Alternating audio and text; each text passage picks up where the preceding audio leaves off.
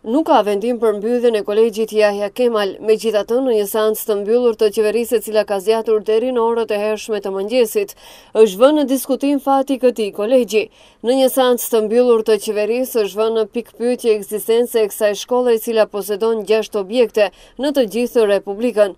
Edhe pse asnjë zyrtar nuk pranon publikisht se Maqedonia ka pranuar kërkesë nga Ankaraja zyrtare për të mbyllur këtë shkollë, ministri i Jashtëm Nikolla Popovski, duke folur për këtë çështje ka shfaqur nuanca pohojëse për një kërkesë të tillë. Qëndrimi ynë ka qenë dhe do të jetë se Maqedonia i përkrah vetëm institucionet e zgjedhura në mënyrë demokratike në Turqi, dhe në këtë drejtim do të bashkëpunojmë me Qeverinë në Ankara në drejtim të ndihmës apo realizimit të qëllimeve të tyre, gjithsesi në suaza të legjislaturës dhe interesave tona. Sa i përket pyetjes lidhur me vendimin e Qeverisë, po është sjellë një vendim i tillë. Të gjitha vendimet të cilat do t'i sjellim do të jenë në përputhje me legjislaturën tonë, interesat tona nacionale.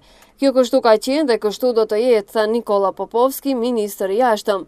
Më pesë gusht ministri i Arsimit Pishtar Lutfiu pati garantuar se Jahja Kemal nuk do të mbyllet për sa kohë që i njëjti vepron sipas ligjeve të vendit. Ndërkaq, përfaqësuesi i këtij kolegji, Surija Tauk tha se nuk ekziston as edhe një arsye më e vogël që qeveria të marrë një vendim për mbylljen e Jahja Kemal, pasi që siç thotë, janë kryer të gjitha detyrimet që duhet ndaj shtetit.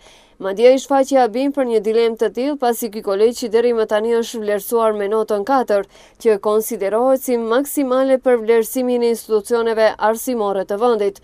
Ka pasur spekulime deri më tani të pakonfirmuara se Jahja Kemal financohet nga rrjeti Hyzmeti i Fetullah Gylenit, i cili nga qeveria turke akuzohet për tentimin e grusht të shtetit në Turqi më pesëmbëdhjetë korrik.